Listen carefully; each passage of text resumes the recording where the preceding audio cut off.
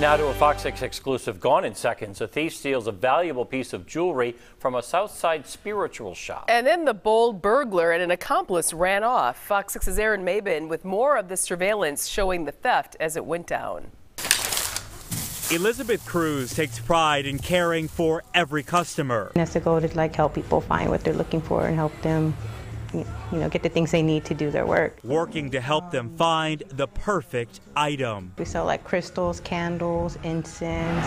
At Botanica Milagro de la Cruz on South Cesar Chavez. It's a spiritual religious shop. Surveillance video shows two men walking into the shop Saturday morning. They came in, they were interested in the silver jewelry that we have. Cruz grabbed a silver necklace for one of them to try on. He wanted to see how it would look on him or how long it was going to be. In a place centered around peace and positive energy, entered the unexpected. He was just looking at it and then he started taking it off like he was going to hand it back for and then all of a sudden he just turns around and just runs off with it. She says the stolen chain was worth roughly $430. It's frustrating because, you know, small business.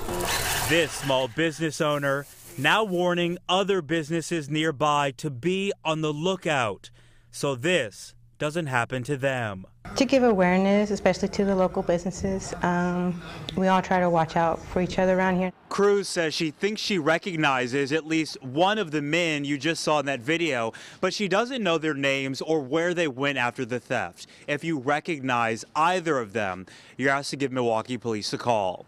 Reporting on Milwaukee's South Side, Aaron Maben, Fox 6 News.